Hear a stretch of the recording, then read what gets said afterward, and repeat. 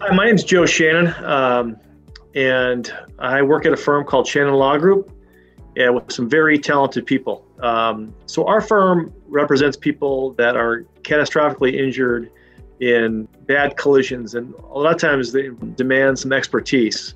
What I asked one of our attorneys, Patrick Cummings, to do was to really delve into this area of law during his practice. And during his years of practice, he's gotten repeated exposure to these cases. And, and in fact, I asked him if he'd be kind enough to write a book so that we could send it to our clients and our friends so they know exactly what's going on with these cases. And he did. He wrote a book called Avoiding a Trucking Nightmare. The good thing about this, uh, this book is that you can uh, download it from our website, but we'll also send you a copy of it. But hey, better than that, we have Patrick with us today to talk about some uh, trucking litigation and trucking cases. So I'm hopeful that you'll enjoy this this session. How you doing, Patrick? I'm good. How are you, Joe? Good. So um, first of all, why don't you give the listeners a little background about you know where you grew up and and where, where you're from and, and how you got to the point where you're a, a lawyer uh, practicing law in Illinois and Wisconsin. Sure. So I'm, I'm sitting here in Chicago, which is where I live now, but uh, where Joe's sitting in Woodridge is not far from where I grew up. I grew up in a uh, the neighboring town, Lisle. Uh, went to uh, St. Joan of Arc in Lisle, went to Benet in Lisle, and then uh, for college I went up to Marquette in Milwaukee uh, with John Sweetek, who's another associate here at the firm. Um, and then for law school, I started out in Drexel in Philadelphia, which is kind of a fun place to do my first year and then it was a little too far from home, so I moved back uh, moved back in the Chicagoland area. Finished up my last two years at Northern Illinois. I started clerking with Joe when I was a uh, third year uh, law student, and have been working with this firm ever since. Tell tell me some of the the pieces of evidence that are key in these type of cases. So one of the, the biggest ones that's uh, important now, um, and it's been more important in the last 10 or 15 years than before, is every truck uh, that's produced now is equipped with what's called a electronic control module. It's, it's similar to like a black box in an airplane. And it, it records a ton of data. It's kind of amazing how much data you can pull from one of these things. You can see how fast a car was going, uh, whether there was braking before a uh, before a crash, what the steering wheel, what the angle of the steering wheel was. It's always recording as the vehicle's in motion. And then when there's a, an event, such as an impact or an airbag goes off or a hard brake, then all that data for 5, 10, 15 seconds, depending on the model, before that, that event is recorded. And so it's important that we get involved early so we can say to the trucking company, hey, this is important. We need you to preserve this. And we, we get a consultant out there to inspect it as soon as possible.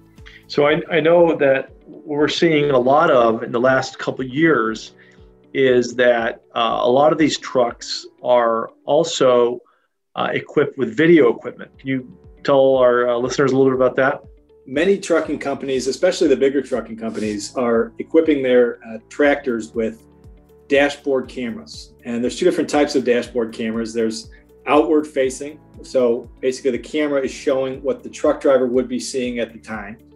And there's also rear view facing, or that's facing into the cabin of the tractor, which shows you what the driver was doing at the time of the impact or in the 15, 20 seconds before the impact.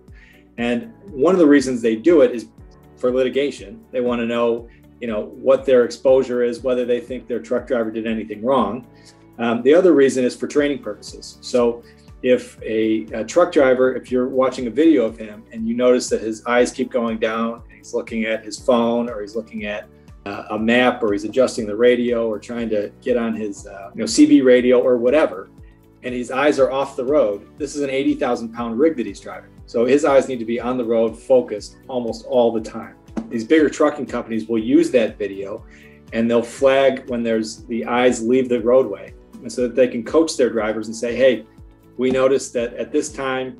When you're in this location, you weren't paying attention here's and then they can retrain it on that issue. Right. So so those uh, the ECM uh, as well as the videos, those are absolutely you know crucial. I mean, it's it, it's just common sense that folks understand that, and those are things that we don't want to go away because they would be helpful to their case because typically you know, we're getting cases where the this big rig uh, either wasn't stopping or changed lanes unexpectedly or did something erroneous and then ran over these folks who are helpless and and really badly injured. So, um, in fact, we we have a case that Patrick and I are working on right now where we were lucky enough to get involved early and we did get all these things. And so we're we're just thankful for our client who's who is badly injured in this crash and that we, we found all that stuff out. Well, thank you so much, Patrick. I really appreciate you taking time. Uh, and again, thanks for writing your book. Uh, it's called Avoiding a Trucking Nightmare What You Need to Know After a Truck Related Injury. And it's simple to read. Uh, it's a good resource, and you can pick it up at shannonlawgroup.com. You should also, uh, if you like the information that that um, we're providing to you, you should subscribe to our YouTube channel uh, at Shannon Law Group. So I hope you have a, I hope you enjoyed this this uh, taping, and we look forward to hosting more of these tapes in the future. Thank you very much.